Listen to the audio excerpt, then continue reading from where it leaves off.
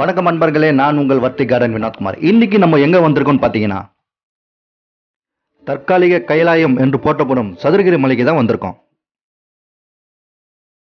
இந்த மலை பார்த்தீங்கன்னா மதுரை மாவட்டத்தில் சீவலிபுத்தூர்லேருந்து பார்த்தீங்கன்னா பத்து கிலோமீட்டர் தூரத்தில் அமைஞ்சிருக்கு. மொத்தம் பார்த்தீங்கன்னா நாலு மலையை ஏறி தான் போயிட்டு நம்ம சிவனை தரிசனம் பண்ண முடியும். வாங்க அன்பர்களே சதுரகிரியின் மலை அழக நடந்துக்கிட்டே கோவிலின் வரலாறு மற்றும் புராணகதை பற்றி தெரிஞ்சுப்போம். அன்பர்களுக்கு அன்பான வேண்டுகோள். எந்த இடத்துல ஸ்கிப் பண்ணாமல் பாருங்க அன்பர்களே. வீடியோ ரொம்ப அழகாக வந்திருக்கு. மொத்தம் பார்த்தீங்கன்னா பதினெட்டு சித்தர்கள் வந்து பார்த்தீங்கன்னா இங்கே இன்னமும் வாழ்ந்து நிற்கிறதா சொல்லப்படுகிறது. இந்த மலையோட ஹைட்டு பார்த்தீங்கன்னா குறைஞ்சது மூணாயிரம் அடி இருக்குன்னு சொல்லப்படுகிறது. இந்த மலையை ஏறத்துக்கு பார்த்தீங்கன்னா குறைஞ்சது ஒரு மூணு மணி நேரமாவது ஆகும். இங்கு அமைந்துள்ள மூலவர்கள் பேர் பார்த்தீங்கன்னா சுந்தர மகாலிங்கம் மற்றும் சந்தன மகாலிங்கம். இரண்டு பேர் இருக்காங்க. இந்த மலையோட சிறப்பு என்னன்னு பார்த்தீங்கன்னா இந்த மலை ஃபுல்லாகவே பார்த்தீங்கன்னா மூலிகை நிறைஞ்ச மலை இது. இந்த மலையில் பார்த்தீங்கன்னா எலும்பு முறிவுக்கான மருந்து மற்றும் சக்கரை நோய் உள்ளவங்களுக்கு அந்த மாதிரியான மூலிகைகள்லாம் இங்கே நிறையா நிறைய சொல்கிறாங்க முக்கியமாக பார்த்தீங்கன்னா சாதாரண தகரத்தை கூட தங்கமாக மாற்றும் உலோகம் கொண்ட மூலிகையும் இந்த இடத்துல இருக்குதுன்னு சொல்றாங்க.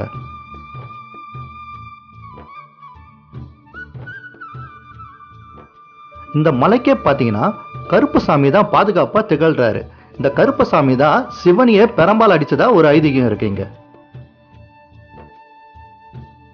போகர் சித்தர் பார்த்தீங்கன்னா பழனி நவபாசான சிலையை பார்த்தீங்கன்னா இங்க இருக்கிற மூலிகளை வச்சு தான் செஞ்சதா இங்க சொல்லப்படுகிறது.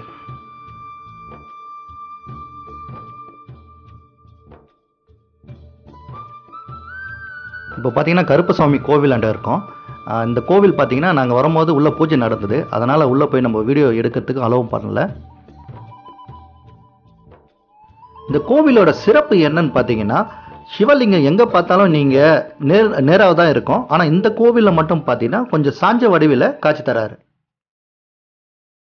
இந்த மலையின் நடப்பாதை எப்படி இருக்குன்னு பார்த்தீங்கன்னா முதல்ல வந்து சமமாக இருந்தது. மண்ணில் நடந்து வரா மாதிரி இருந்தது. அதுக்கப்புறம் பார்த்தீங்கன்னா சிமெண்ட்டு போட்டு படிக்கட்டுகள் இருந்தது. அதுக்கப்புறம் நடுவில் ஒரு ஓடை வருது. அந்த ஓடையில் பார்த்தீங்கன்னா பாறைகள் இருக்குது அந்த பாறை மேலே ஏறி போகிற மாதிரியான அமைஞ்சிருக்கு. இந்த கோவிலின் புராண கதையை பற்றி தெரிஞ்சுக்கலாம் வாங்க. கைலாசத்தில் பார்த்தீங்கன்னா யாழ் இசைக்கிற ஒரு ஒருத்தர் யாழ் இசைத்து சிவபெருமானை சந்தோஷப்படுத்தி வந்திருந்தாராம். அங்க யாழ் இசைக்கும் போது அங்க நடனமாடும் பெண் மீது இவர் காதல் கொண்டாராம். அந்த இருவரும் பார்த்தீங்கன்னா அங்க தப்பாக நடந்ததுக்காக சிவபெருமான் நீங்க பூமியில போயிட்டு பிறந்து உங்களோட ஆசை துன்பங்கள் எல்லாத்தையும் அனுபவிச்சுட்டு வாங்கன்னு சொல்லிட்டு அவங்கள பூமியில் பிறக்க வச்சாராம். அந்த இரண்டு பேரும் பார்த்தீங்கன்னா சதுரகிரி கீழே இருக்கிற ஒரு ஊரில் பிறந்து ரெண்டு பேருமே பார்த்தீங்கன்னா காதல் கொண்டு திருமணம் பண்ணி பால் வியாபாரம் செஞ்சு வந்தாங்களாம்.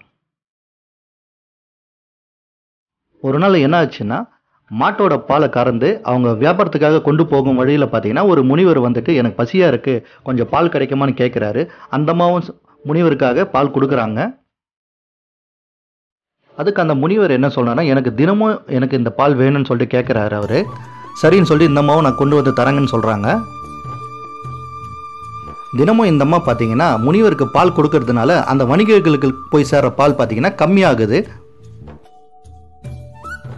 அப்புறம் பார்த்தீங்கன்னா எல்லா வணிகர்களும் பார்த்தீங்கன்னா அந்த அம்மாவோட கணவர்கிட்ட போயிட்டு சொல்கிறாங்க தினமும் பால் பார்த்தீங்கன்னா எங்களுக்கு குறைஞ்சிக்கிட்டே வருது. அப்புறம் சரின்னு சொல்லிட்டு க அந்த கணவர் ஒரு நாள் பார்த்தீங்கன்னா அந்த அம்மா பால் கொண்டு போகும்போது பின்னாடியே போய் பார்க்கறாரு என்ன நடக்குதுன்னு. வழக்கம் போல் பார்த்தீங்கன்னா அந்த அம்மா பசுமாட்டு பாலை அந்த முனிவருக்கு கொடுக்குறாங்க. இதை வந்து ஒளிநிருந்து பார்த்த அவங்க கணவர் வந்து பார்த்துட்டு அந்த அம்மாவை வந்து அடிக்கிறாரு. அங்கே நடக்கிறது எல்லாமே பார்த்தீங்கன்னா அந்த முனிவர் பார்த்து கொண்டே இருக்கிறாரு. நமக்காக பால் கொடுத்த அந்த பொண்ணு அடி வாங்குதுன்னு சொல்லிட்டு உடனே அவரை சடை மங்கையா அங்கே சிலையா அந்த பெண்ணை உருவாக்கிட்டு அவர் மறைஞ்சிடறாரு. இந்த மலையின் காவல் தெய்வமா சடை மங்கையா இங்கே வாழ்ந்துன்னு வராங்க. அந்த கணவர் பார்த்தீங்கன்னா மனைவி பிரிந்த துக்கத்தில் அங்கே வரும் முனிவர்களுக்கு எல்லாருக்கும் பார்த்தீங்கன்னா சேவை செஞ்சு வராரு. ஒரு நாள் பார்த்தீங்கன்னா அந்த ஊருக்கு புதுசாக ஒரு துறவி ஒருவர் வராரு. அந்த ஊரில் இருக்கிற முனிவர்கள் எல்லாருமே அவரை சிறப்பாக பார்த்துக்கிறாங்க. ஒரு நாள் பார்த்தீங்கன்னா அந்த துறவி மாட்டோட மடியில் போயிட்டு அப்படியே வாய் வச்சு பால் குடிக்கிறாரு.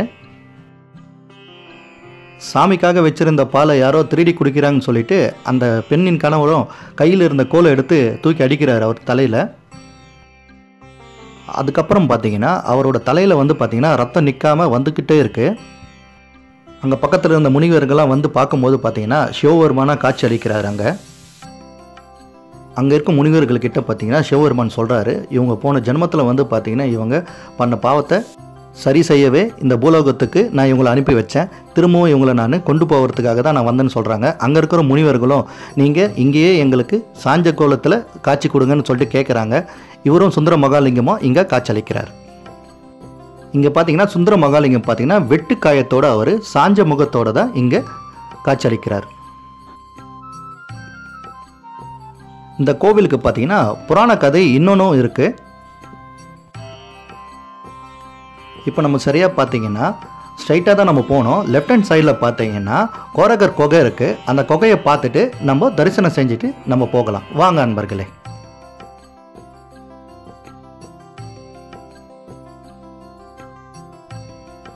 இப்போ பார்த்தீங்கன்னா ஓடையில் பார்த்தீங்கன்னா தண்ணியெல்லாம் ரொம்ப கம்மியாக இருக்குது இதே நீங்கள் செப்டம்பர் மாதம் அந்த டைமில் வந்து பார்த்தீங்கன்னா தண்ணி பார்த்தீங்கன்னா ஃபுல்லாக இருக்கும்.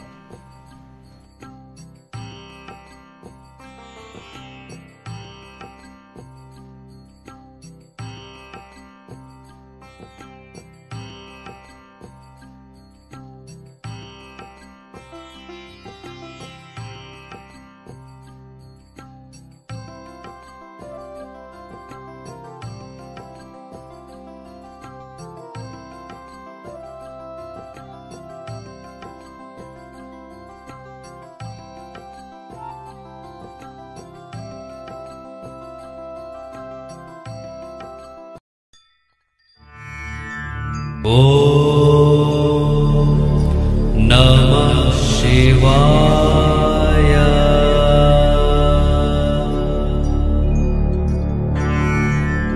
ॐ नमः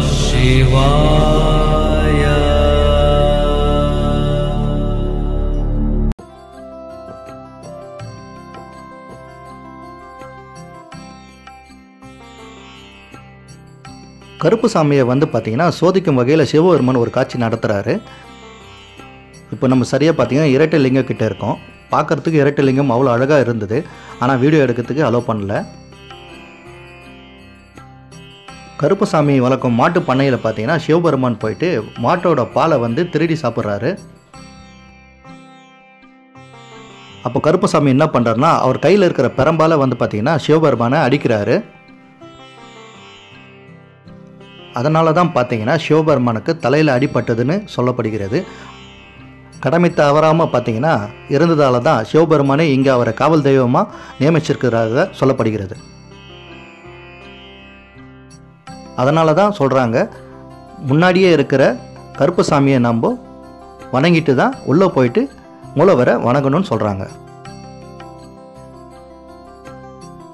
இந்த மலையில் பார்த்தீங்கன்னா இன்னொரு அதிசயம் பார்த்தீங்கன்னா இரட்டை லிங்கம்.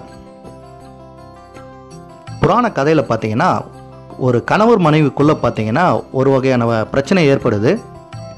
அது என்ன மாதிரி பிரச்சனைன்னு பார்த்தீங்கன்னா கணவனுக்கு பார்த்தீங்கன்னா சிவபெருமான் தான் பெரியவர்னு சொல்கிறாரு மனைவி பார்த்தீங்கன்னா விஷ்ணு தான் பெரியவர்னு சொல்கிறாங்க அப்போ கணவர் என்ன சொல்கிறாருன்னா வா நம்ம ரெண்டு பேரும் பார்த்தீங்கன்னா தவம் இருப்போம். யாருக்கு முதல்ல வந்து காட்சி அளிக்கிறாங்கன்னு பார்ப்போம் அப்படின்னு சொல்கிறாங்க அப்போது பார்த்தீங்கன்னா கணவருக்கு வந்து பார்த்தீங்கன்னா சிவபெருமான் வந்து காட்சி அளிக்கிறாரு. பக்கத்தில் வந்து அவர் மனைவி கிட்ட சொல்கிறாரு நான் வணங்கிய சிவபெருமான் எனக்கு காட்சி அழிச்சிட்டாருன்றாரு. அதுக்கு அந்த அம்மாவும் என்ன பண்ணுறாங்கன்னா மனசுக்குள்ளேயே பார்த்தீங்கன்னா சிவபெருமானை ஒரு பாதி மனசோடு ஏற்றுக்கிறாங்க உடனே சிவபெருமான் என்ன பண்ணுறாருன்னா மறைஞ்சிட்டு திரும்பவும் விஷ்ணுவாக தோன்றாரு. ரெண்டு பேருமே பார்த்தீங்கன்னா ப- ஒரு பக்கம் சிவனும் ஒரு பக்கம் விஷ்ணுவாக காட்சி அளிக்கிறாரு அதனால தான் இங்கே பார்த்தீங்கன்னா ரெண்டு லிங்கமும் இங்கே இருக்குது அடுத்ததாக பார்த்தீங்கன்னா சந்தன மகாலிங்கம் பற்றி நம்ம தெரிஞ்சுப்போம். வாங்க. கைலாசத்தில் பார்த்தீங்கன்னா முனிவர்களும் சப்த ரிஷிகளும் பார்த்தீங்கன்னா சிவனும் பார்வதியும் வந்து பார்த்தீங்கன்னா வணங்கின்னு வந்திருந்தாங்களாம். அப்போது பார்த்தீங்கன்னா பிரிக்க முனிவர் பார்த்தீங்கன்னா பார்வதி தேவியை வணங்காமல் சிவனை மட்டுமே பார்த்தீங்கன்னா வணங்கி வந்தாராம். இதை கண்ட பார்வதி தேவி பார்த்தீங்கன்னா சிவபெருமன் கிட்ட முறையிடுறாங்க. உங்களுடைய பக்தர் பார்த்தீங்கன்னா என்ன வணங்காமல் உங்களை மட்டும் வணங்குறாரு ஏன்னு கேட்குறாங்க அதுக்கு சிவபெருமன் என்ன சொல்கிறான்னா உங்களை வணங்கினா செல்வங்கள் தான் கிடைக்கும். என்ன வணங்கினா மோச்சம் கிடைக்கும். அவனுக்கு செல்வத்து மேலெல்லாம் ஆசை கிடையாது. மோச்சம் அடையிறது தான் ஆசை. அதனால தான் என்ன வணங்குறான்னு சிவபெருமான் பார்வதி தேவி கிட்ட சொல்கிறாங்க சதுரகிரியின் காவல் தெய்வமான கருப்புசாமி கோவில் கிட்ட நம்ம வந்துட்டோம். தரிசனம் பெற்றுட்டு நம்ம மேலே போவோம். அதை கேட்ட பார்வதி தேவி பிருங்கமுனிவர் மீது கோபம் கொண்டு பார்த்தீங்கன்னா அவருடைய உடம்புல இருக்கிற சக்தியை எல்லாமே எடுத்துடுறாங்க. சக்தி அந்த பிங்க முனிவர் என்ன பண்ணுறாருன்னா அப்படியே காலாலே தழுந்து வந்து பார்த்தீங்கன்னா திரும்பவும் சிவபெருமானை வந்து வணங்குறாங்க. சிவபெருமான் திரும்பவும் பழைய நிலைமைக்கு அவரை சரி பண்ணிடுறாரு. இதை கண்ட பார்வதி தேவி பார்த்தீங்கன்னா இன்னும் கோவம் அதிகமாக கொண்டு அவங்க என்ன பண்ணுறாங்கன்னா சதுரகிரியில் சந்தன மரத்துக்கிட்ட போயிட்டு சந்தன லிங்கத்தை உருவாக்குறாங்க. அதுக்கப்புறம் பார்த்தீங்கன்னா சந்தனலிங்கத்துக்கு பூஜை செஞ்சு சிவபெருமானை வர வைக்கிறாங்க அதுக்கப்புறம் சிவபெருமான் இருவரும் பார்த்தீங்கன்னா பாதி சிவனாகவும் பாதி பார்வதியாகவும் இங்கே காட்சி அளிக்கிறாங்க.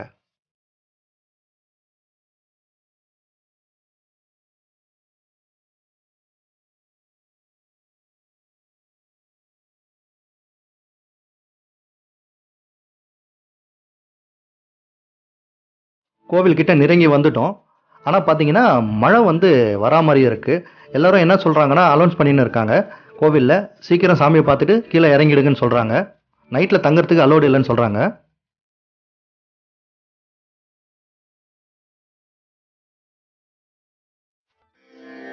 தென்னாடுடைய சிவனே போற்றி என் நாட்டவர்க்கும் இறைவா போற்றி. ஈசனடி போற்றி எந்த அடி போற்றி தேசனடி போற்றி சிவன் சேவடி போற்றி. நேயத்தே நின்ற நிமலனடி போற்றி மாயப்பிறப்பருக்கும் மன்னனடி போற்றி.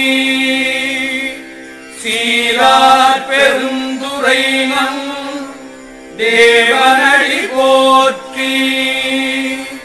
ஆராத இன்பம் அருளும் மறை போற்றி. இல்லையுள் கூத்தனே தென்பாண்டி நாட்டானே. அல்லல் பிறவி அறுப்பானே ஓ என்று சொல்லக் கரியானே சொல்லித் திருவடிக்கு சொல்லிய பாட்டின் பொருள் உணர்ந்து சொல்லுவார். செல்வர் சிவபுரத்தில் உள்ளா சிவனடிக்கு பல்லோரும் ஏத்த பணிந்து. தென்னாடுடைய சிவனே போற்றி. என் வீடியோவை பார்த்த அனைத்து அன்பு உள்ளங்களுக்கும் வர்த்திகாரன் வினோத்குமாரின் அன்பான நன்றியை தெரிவித்துக் கொள்கிறேன் மறக்காமல் லைக் பண்ணுங்க ஷேர் பண்ணுங்க கமெண்ட் பண்ணுங்க. பெல் பட்டனை தட்டி விடுங்க. அப்போ தான் நான் போகிற வீடியோ உங்கள் கைக்கு வந்து சேரும். நீங்கள் உங்களுக்கு தெரிஞ்சவங்களுக்கு என்னோட வீடியோ ஷேர் பண்ணலாம். அடுத்த ஒரு நல்ல பதிவுடன் சந்திப்போம் நண்பர்களே நன்றி வணக்கம்.